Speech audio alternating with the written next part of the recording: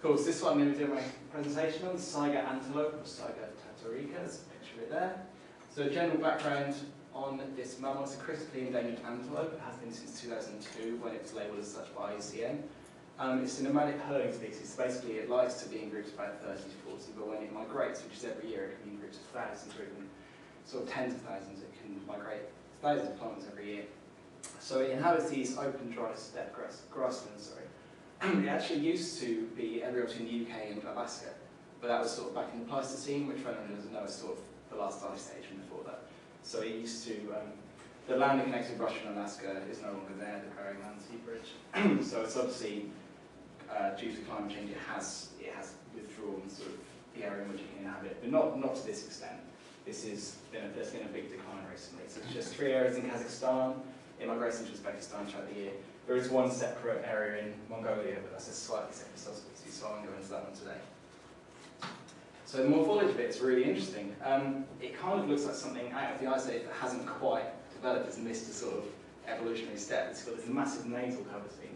Um, but although it looks a bit funny, it's a really piece of kit because um, it's really flexible and it's essentially, it, let's say it migrates in these huge hordes across the desert, making tens of thousands and kicking up dust. And basically this can filter out all the particles in the air before it takes it down into the lungs.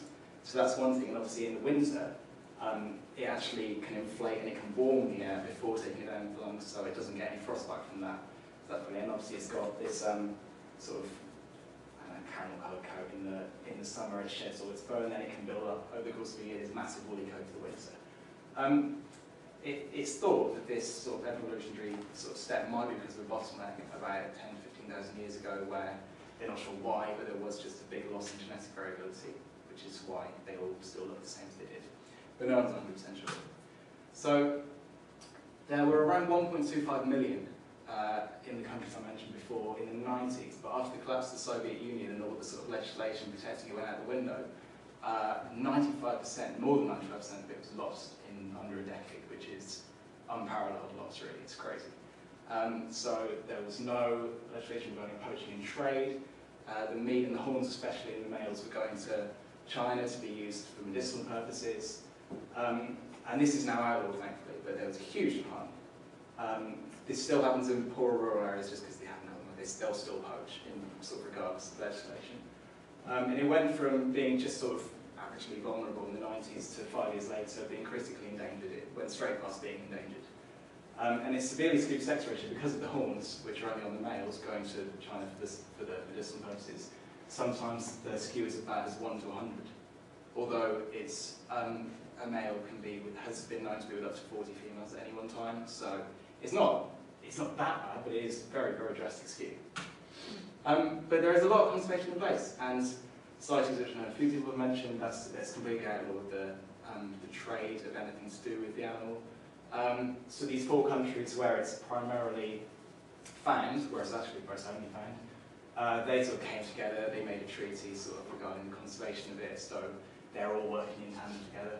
Kazakhstan have reduced the impact of roads and infrastructure, that's due to the migration of it, so they didn't want anything to be in the way, because it can move 1,000 kilometres north and south every year, they didn't want anything sort of interrupting that. So they're sort of going down every avenue trying to make sure that it's going to be alright.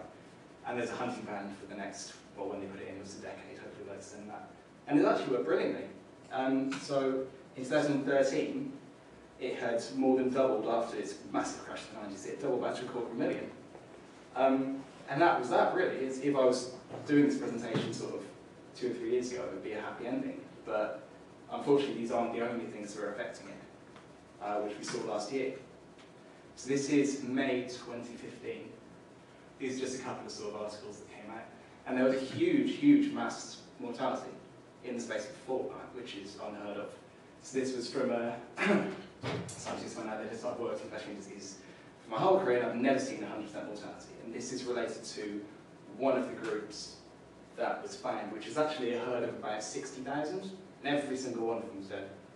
Every single one of them. Um, which is, again, unheard of.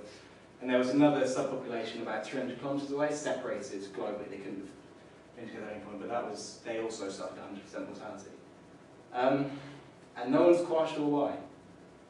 There's um, a theory that it might be to do with uh, carving, I think, not carving, I think when, they, when they, they, they gather in large groups, when they're giving, when they're giving birth to young, and some, and it makes them a little bit more vulnerable than a large group.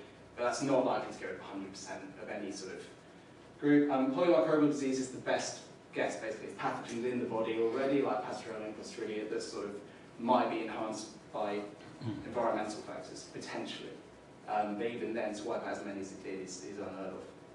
Um, so that's another threat on top of sort of other natural and human threats. So in conclusion, um, hopefully the good work will continue, as obviously apart from mass aside from mass mortalities, which seems to sort of, it's happened before, it seems to be part of their DNA. But um, the good work needs to continue. Hopefully everything, all the cooperation, all the restrictions, all the trade bans, that will stay in place. Hopefully we can just try and make them more resilient to these mass mortalities once we find out what's really causing it. Um, so yeah, it's not sort of black and white case. It's, it's a very complicated one. Nearly a success story, but not quite Yeah.